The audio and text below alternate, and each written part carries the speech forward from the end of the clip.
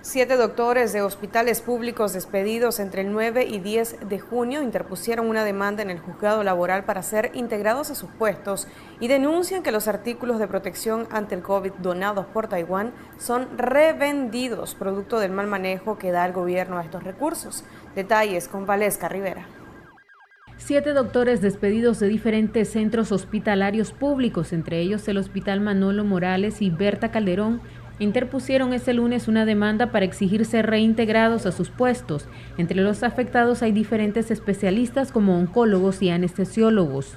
Los afectados se hicieron presentes a los juzgados de lo laboral acompañados de un abogado de la Comisión Permanente de Derechos Humanos, lugar donde también hicieron presencia agentes de la Policía Nacional. Los demandantes señalan que su despido obedece a represalias por firmar una carta en la que exigieron al gobierno un mejor manejo de la pandemia. Nuestro derecho como médico y solicitar en ello la, reintegración y que se cumpla los derechos que tenemos como médicos es presidente de nuestro servicio hasta la fecha del 9 de junio. ¿No se le aplicó el, artículo 45 del Código de Laboral? No se agotaron ninguna, eh, lo, que, lo que manda el convenio colectivo, ninguna medida de llamado a atención, comisión bipartita, tripartita, nada. Más de siete médicos que vienen a interponer formal demanda laboral con violación de sus derechos laborales eh, nosotros como CPDH hemos dicho que vamos a darle el acompañamiento porque hemos analizado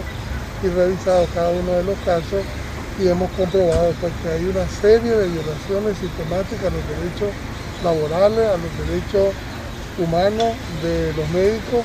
Es un despido arbitrario y lo que los médicos en este momento están haciendo es su derecho de demandar su reintegro en las mismas condiciones que estaban antes del despido. También destacan que las donaciones de equipos de seguridad para combatir el COVID-19 son vendidos en las redes sociales y no entregados a la población, lo que también responde a un mal manejo de las donaciones hechas a nuestro país. Se ha visto en, el comercio ilegal, por decir ahí, porque el gobierno está controlando todos los ingresos de equipos de protección personal eh, que andan ofertando mascarillas y dice Made in Taiwan.